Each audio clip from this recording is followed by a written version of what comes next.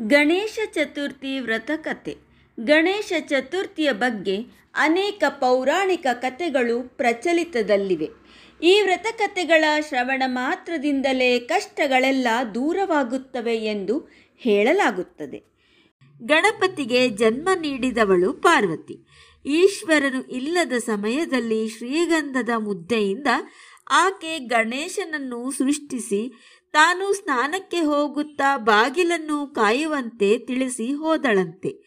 ಆಕೆ ಸ್ನಾನಕ್ಕೆ ಹೋದಾಗ ಅಲ್ಲಿಗೆ ಬಂದ ಶಿವನಿಗೆ, ಒಳಗೆ ಹೋಗಲು ಗಣಪತಿ ನಿರಾಕರಿಸಿದಾಗ ಅವರಿಬ್ಬರಿಗೂ ಜಗಳವಾಯಿತಂತೆ. ಈ ಜಗಳದಲ್ಲಿ ಕೋಪಗೊಂಡ ಈಶ್ವರನು ರೌದ್ರಾವತಾರವನ್ನು ತಾಳಿ ಗಣಪತಿಯ ತಲೆಯನ್ನು ಕತ್ತರಿಸಿ ಹಾಕಿದನಂತೆ. ಆಮೇಲೆ ಅಲ್ಲಿಗೆ ಆಗಮಿಸಿದ ಪಾರ್ವತೀ ದೇವಿಯು ಈ ದೃಶ್ಯವನ್ನು ಕಂಡು ಉಗ್ರಾವತಾರವನ್ನು ತಾಳಿದಳಂತೆ. ಆಗ ಆಕೆ ಕಾಳಿಯ ಅವತಾರವನ್ನು ತಾಳಿ ವಿಶ್ವವನ್ನು ನಾಶಪಡಿಸುವ ಬೆದರಿಕೆಯನ್ನು ಹಾಕಿದಳು. ಇದು ಪ್ರತಿಯೊಬ್ಬರನ್ನು ಆತಂಕಕ್ಕೆ ತಳ್ಳಿತು. ಆಗ ಎಲ್ಲರೂ ಕಾಳಿಕಾ ದೇವಿಯ ಕೋಪವನ್ನು ತಣಿಸುವ ಉಪಾಯವನ್ನು ಹುಡುಕುವಂತೆ ಈಶ್ವರನಿಗೆ ಮೊರೆ ಹೋದರು. ಆಗ ಶಿವನು ತನ್ನ ಅನುಯಾಯಿಗಳಿಗೆ ಹೀಗೆ ಹೇಳಿದನಂತೆ.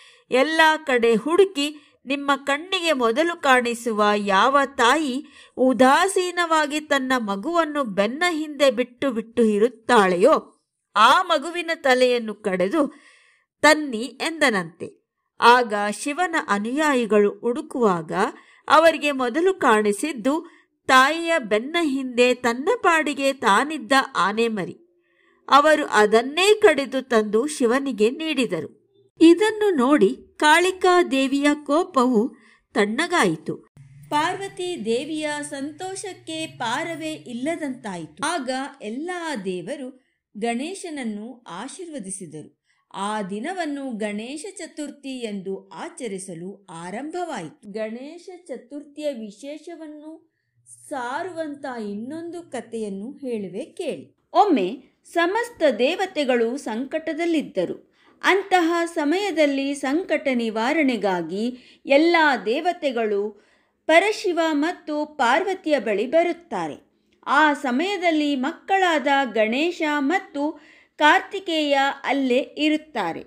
ದೇವತೆಗಳ ಸಂಕಟವನ್ನು ಆಲಿಸಿದ ಶಿವನು ಮಕ್ಕಳಲ್ಲಿ ಪ್ರಶ್ನಿಸುತ್ತಾ, ದೇವತೆಗಳ ಸಂಕಟವನ್ನು ಯಾರು ಪರಿಹರಿಸುತ್ತೀರಿ? ಎಂದು ಕೇಳುತ್ತಾನೆ. ಅದಕ್ಕೆ ಗಣೇಶ ಮತ್ತು ಕಾರ್ತಿಕೇಯರು ಇಬ್ಬರೂ ಸಹ ನಾವು ಮಾಡುತ್ತೇವೆ ಎಂದು ಒಪ್ಪಿಕೊಳ್ಳುತ್ತಾರೆ.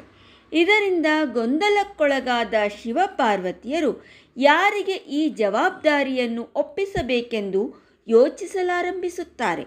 ನಂತರ ಶಿವನು ಯಾರು ಪೃಥ್ವಿಯನ್ನು ಸುತ್ತಿ ಮೊದಲು ಬರುತ್ತಾರೋ ಅವರಿಗೆ ಈ ಕೆಲಸವನ್ನು ಒಪ್ಪಿಸುವುದಾಗಿ ತಿಳಿಸುತ್ತಾನೆ.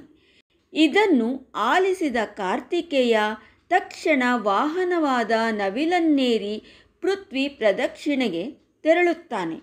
ಗಣೇಶ ತನ್ನ ವಾಹನವಾದ ಮೂಷಕವನ್ನೇರಿ ಎಷ್ಟು ದೂರ ಕ್ರಮಿಸಲು ಸಾಧ್ಯ ಎಂದು ಯೋಚಿಸುತ್ತಾ ಕೂರುತ್ತಾನೆ.